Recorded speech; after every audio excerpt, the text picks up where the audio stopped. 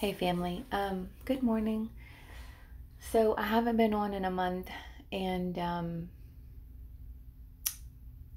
yesterday, or really the past week, um, I'm like, Father, help me to articulate this, please, please, please, please. Um, there's it. There's a lot of good stuff that the Lord wants to share with you. And oh my gosh, He loves you so much. Like we, our minds cannot fathom how much the Lord loves you. Um, but first and foremost, I posted on my community post yesterday um, for Sister Jen. She is in need of financial help. Um, anything would be appreciated. Um, she does start work in the next two weeks, but she, in the meantime, she needs something to get her by. So if um, you can get in touch with her through her email, I'll post it below. Or and she does have the Google Pay. So, um, and I mean, I'm sure if if you're really like if you know her, know her she'll give you her address. You can do like Western Union or Walmart to Walmart or whatever's. So um, get in touch with her if you feel led. And um, she's been through a lot. We've been through a lot. All of us has been through a lot. We're going through it.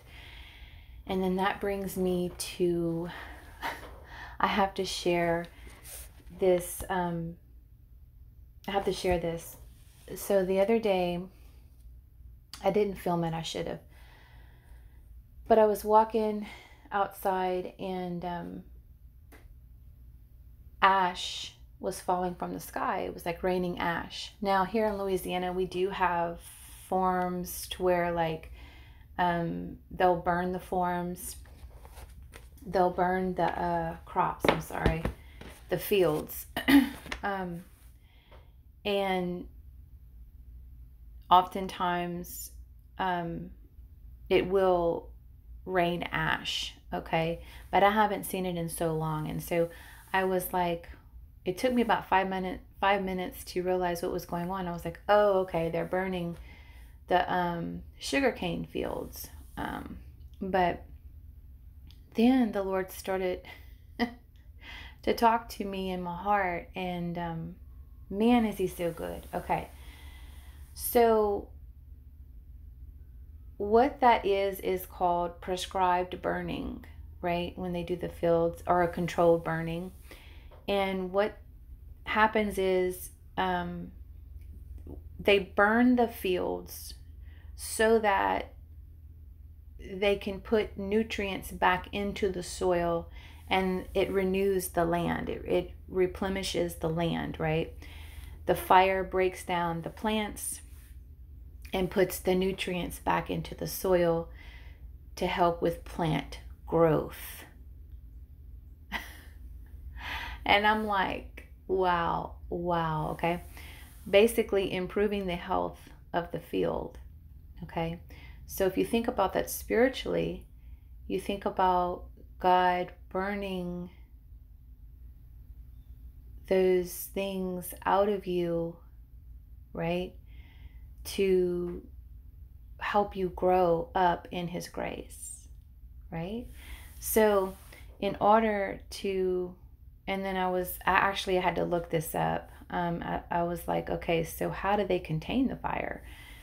Um, in order to main or manage the burning and to contain it, the former uses something called a drip torch.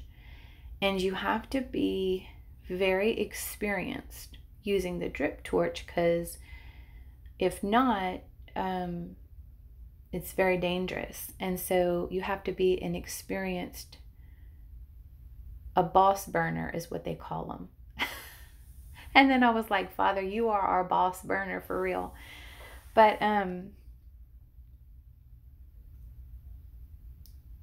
man, I was like, okay, because because of what I've been going through, um, it's like I had no choice but to just sit down and sit in his presence and let him do his thing. And um, there was no other way. Like all, you know, just the staying up at all hours of the night and I couldn't sleep because I couldn't breathe and I was questioning and I was confused and I was crying and I just, you know, but it was a, I do believe and I still do believe that I'm going through something to where it's like He is disciplining me spiritually to understand a more in-depth how how does Ephesians say it? The length to know the love of God to know his grace for the the length the depth the height right that's all I can come up with and so I am on this journey of understanding it in a more greater way and a more broader way. Not that I never had it or any of that, but it's like it's a more understanding of what I already have, what we already have, right? So, um, about a month ago, I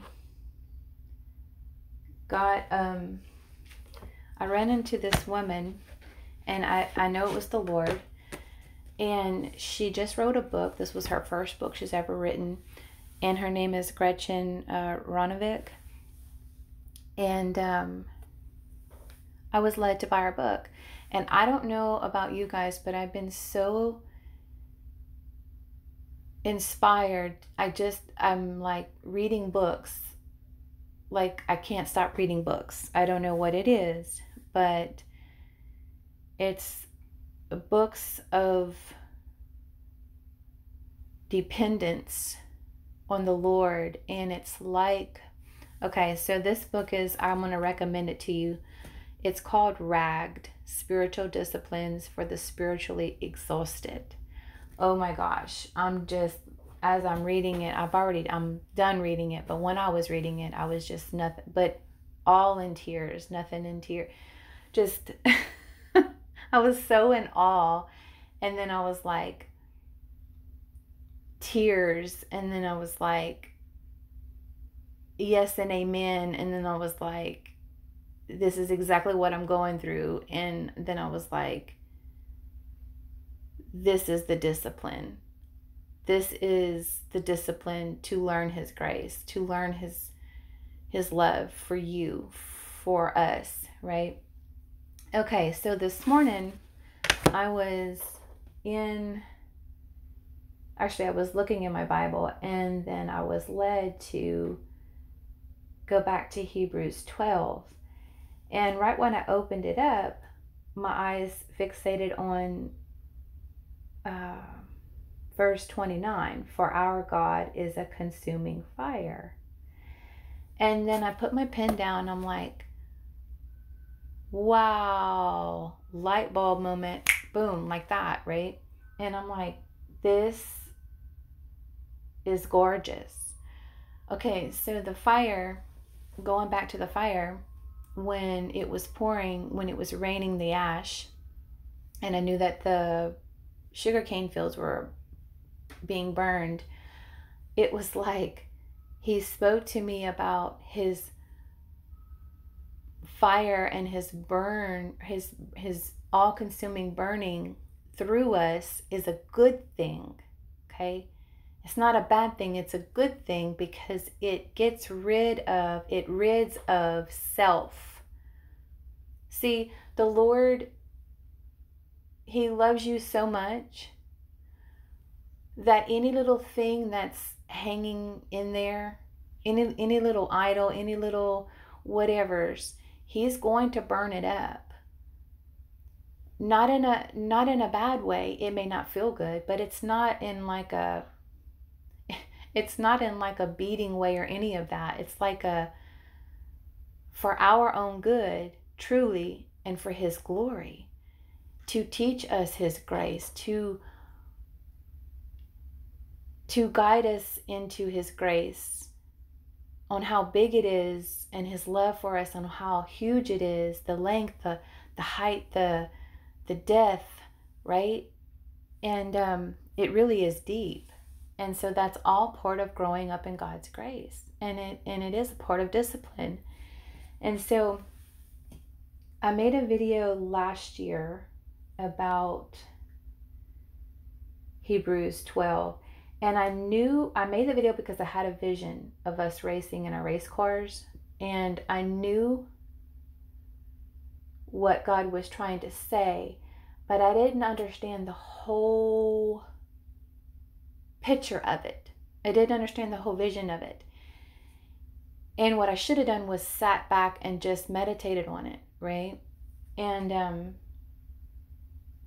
and I'm I I um I do have to apologize because in one of my videos I said he will whip your butt. No.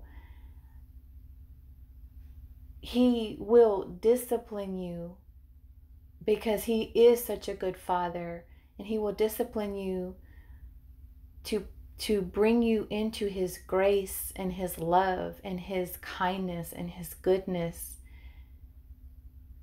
And he's so patient with us right? So I, God is all consuming. He is an all consuming fire. But it's so gorgeous and it's so beautiful. It is who he is. It's it, that is who he is. But if he lives in you, he will do it and he will work it into the day of redemption. It is his works, glorification, sanctification, justification, all of it. Okay? Because I know in, in First Thessalonians it says um, that I think it's First Thessalonians. Let me go get it. For this is First Thessalonians five, um, starting at verse twenty-three. And the very God of peace sanctify you wholly. Okay, that means your whole entire being, right? And I pray, God, your whole spirit and soul and body be preserved blameless unto the coming of our Lord Jesus Christ. Faithful is he that calleth you, who also will do it. Okay. Um, so, over the course of six months, it's been hell for me. Like when I say that, I mean, it just didn't stop. It was like one thing after the next. And you know, I thought it was a tax, and some of it was, but I do believe a lot of it was God allowing it in my life to draw me back to focusing on him and Him alone and ridding anything out of me that is self. I'm talking about like um, anything that I'm doing on my own, um, controlling situations or looking to myself for X, Y, and Z, etc. And so the whole thing about living in the Christian life really truly is looking to Jesus every day of your life and praising his name and even thanking him for waking you up this morning um, and giving you breath as he breathes the breath through you. And it it truly is a gorgeous state to be in. It really is gorgeous to be a Christian. It is so beautiful and we are so blessed. We are blessed beyond measure. We really, really are.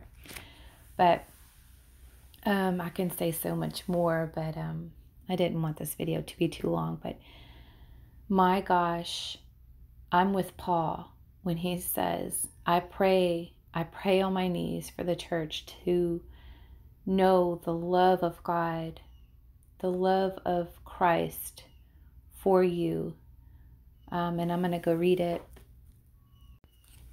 Okay, this is in Ephesians chapter 3, starting at verse 14. For this cause I bow my knees unto the Father of our Lord Jesus Christ, of whom the whole family in heaven and earth is named, that he would grant you, according to the riches of his glory, to be strengthened with might by his Spirit in the inner man, that Christ may dwell in your hearts by faith, that you, being rooted and grounded in love, may be able to comprehend with all saints what is the breadth, the length, the depth, the height, and to know the love of Christ which passeth knowledge, that you might be filled with all the fullness of God. And I I don't want to cry, but it's guys, it's really beautiful. Um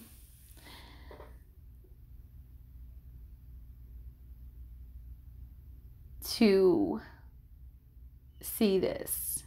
It's one thing to read it, um, but I know it's another thing to for God to bring you through, situations as you get the experience through it, you learn as well for me that's how I learn most of my time is I have to go through it.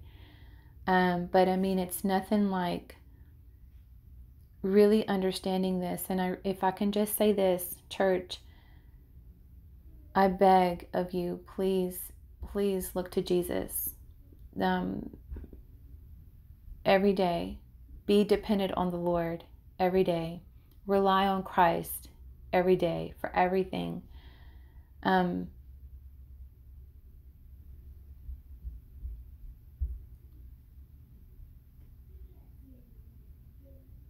And I just, I, for the church to know this, man, I felt Paul's heart there. I really did. um, but I just wanted to share this. So I may make another video to further try to explain, but um, I think I'm going to cut it off now. So I love you guys.